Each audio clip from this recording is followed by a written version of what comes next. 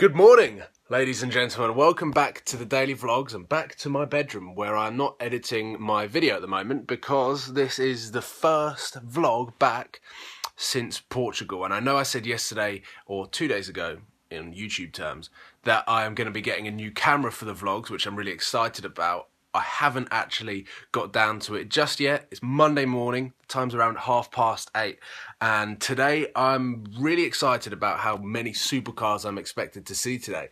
What I'm not excited about is the fact that the weather is raining. So ladies and gentlemen, I'm out and about, and as you can see, this weather slightly different to what I was experiencing in Portugal. The other thing is because I don't have a car, I'm using my feet to get to a train station so that I can head up towards the Milton Keynes area. Now, today I don't particularly know too much about it because it was all being organised whilst I was away. All I know is there's going to be tons of supercars and the chances of me seeing a Koenigsegg today are highly likely. So I've got my video camera in my backpack, as you can see here, um, and I'm hopefully just going to film as much as possible, whether that's the supercars that are there. I think there's Lamborghini, Jaguar, Aston Martin. I'm not sure whether Ferrari are there, but the idea today for me is to just try and get as much content as I can. So typical Monday morning back in England and it's raining and it's a supercar day up at Millbrook that I'm going to.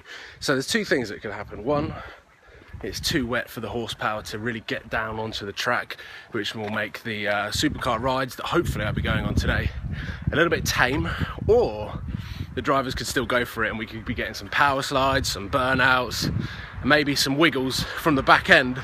So I'm quite excited about today. Um, and fingers crossed we get some good content for the vlog.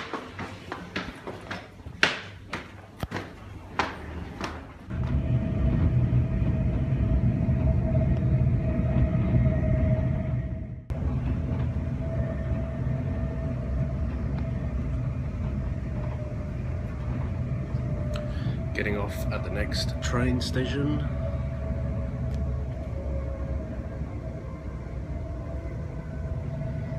Trains are boring. now approaching Bletchley. Please take Trains are care when boring, stepping from the train but onto quick. the platform. Up again. Right, so I've got off at Bletchley.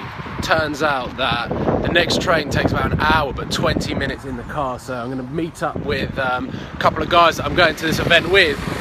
Um, they're about half an hour away, so a half an hour wait and then a 20 minute drive. So it's still the same as the train, but I prefer to go in the car rather than the train. We have arrived at the Castrol Edge Millbrook Circuit in the pouring rain.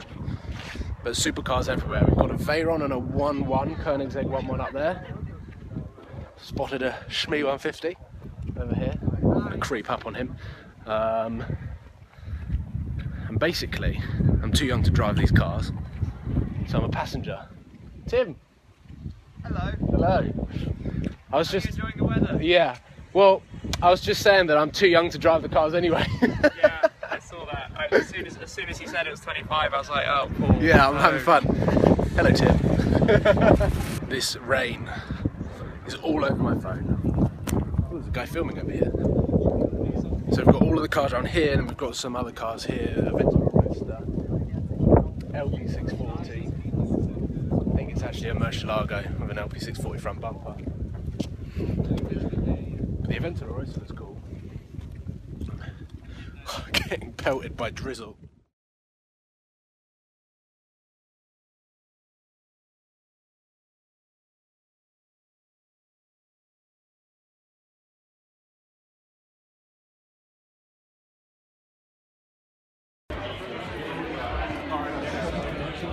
Ooh.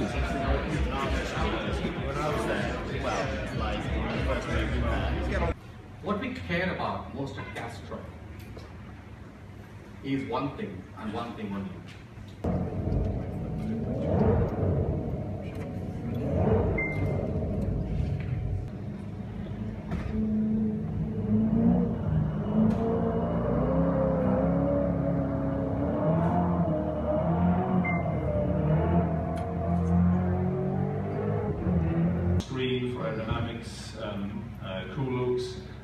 Detachable hardtop that you can stow in the front. And actually, that's how our cars still look today, 21 years later. That concept really stuck and has worked well. But it was a long journey. It took me eight years to go from the, the day I said, I'm going to do this, until I could deliver the first car. So we've had a couple of talks now and we're waiting to find out. I think we're waiting to find out what cars we're going to be going out in. I have no idea whether it's pre-selected or not. We've got all of the lunch stuff going on here. We've got the um, Bloodhound Jaguar F-Type that was at Goodwood and there's also an Aston Martin Vulcan behind as well and then all of the cars that are outside in that circle that you saw pretty early on um, that's or they're the cars that are going to be going for drive so I'm not sure what the plan is because I'm only doing passenger rides and not driving them but I've never been to Millbrook before, so I'm going to try and find out what the list is, see what cars I'm going out in. You can't film Yeah. while you're going around Millbrook unless it's pointing towards you.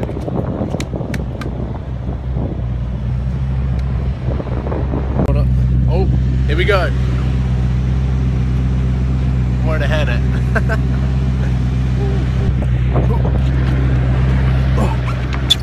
Hello. How are you? Good to meet you. Let's just get strapped in. Forgive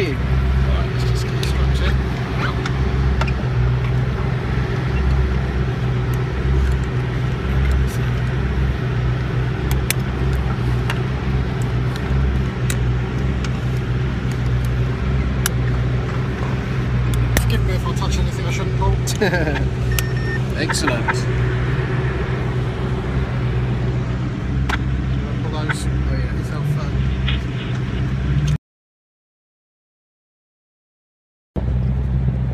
And that was the quickest ride in a Koenigsegg 1-1 I've ever had. First experience of a Koenigsegg. Catch up in a bit.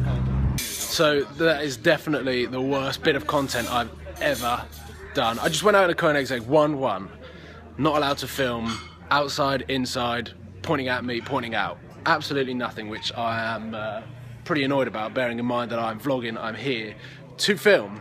So um, unfortunately you guys didn't get to see that, all you got to see was me getting in the car and then me walking away from the car, which um, is quite frustrating. So Tim has now got two fluorescent jackets over as he puts his hairnet on, making sure that there's no cameras facing out. We've managed to wiggle our way so that we can film.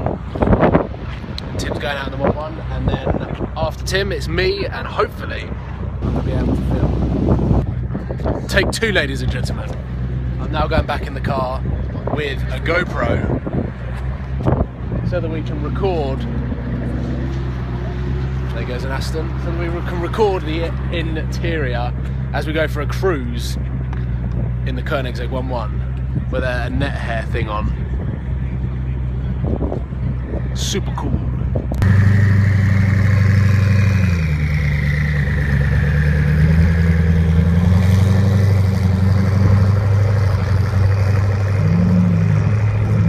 So now, for some time, my head has been squashed in this helmet with this silly hairnet on. I've waited about 45 minutes and the car has not returned and I'm just falling over holes and we're wondering whether the car is actually coming back at all or whether they've stolen it. Look who I have found down in Millbrook. What are you doing? You're driving the Huracan. I'm driving the Huracan. I'm in the Huracan today. I'm really busy and I haven't been around for a while because obviously I'm not a celebrity like yourself. um, so, uh, so I do feel privileged to be in your presence and I'm glad that you took all this time to come and see me. You're going to Yeah. go in the Koenigsegg again in a minute. trying to. Trying to get out in the Koenigsegg. There's a bit of a problem out there. We've been waiting about 50 minutes or so. 50 minutes. And you apparently you're not taking out. I'm taking people out in the in the Huracan all day. I'm the busiest because it is the best self-drive car. It is cool. And it's obviously me that's going to be in charge of it because I'm the premier velocity man. Yeah, of course. But the Koenigsegg is broken down, which is strange because they're no deliver They are indeed. And uh, we've got. I'm not, sure, I'm not sure whether we were supposed to say that it's broken down or not. No, I might cut it. I'll just cut it out. Yeah. Don't worry about it. it's doing really well. It's fine. Yeah, I think it's, I think it's flying out there. I think it's I just, can hear it now. yeah, it's somewhere out there. But anyway, good But to see you, James. Good to see you too, matey. I've got to go off and do some, some important stuff now, and you've got a, a hairnet to wear, so enjoy the rest of your day.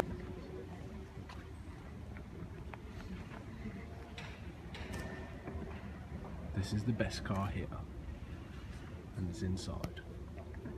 So my phone's plugged in, but you can see the Ford GT behind absolutely amazing and first time that I've been reunited with it, not in a box at Goodwood. My hair's all over the place because of the helmet that I was wearing for about 50 minutes until um, we were told that the Koenigsegg is stuck out at Millbrook. So we're now just going to be chilling out. I think we're going to be heading home and hitching a lift with Tim in the infamous BMW X6 and I'm sure he's going to tell me all about it on the way home. So I'll get as much as I can, as much as I can in the vlog. And we're also going to be hitting McDonald's for dinner. Can't get through because the car's so big. Yeah, so welcome to the X6 M50D. The luxury, the comfort. Look at that widescreen. It's big. And this Hold is all digital as well. This is a nice Oh, yeah. big screen, which That's you can cool. put in different modes. It's bigger than my 6 Plus.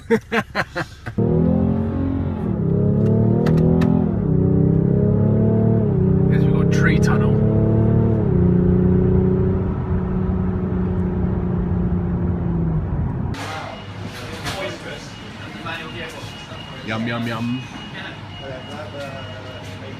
I don't know how I'm going to get away with the um, copyrights of the music. I'm Just going to talk over it. We're in Burger King.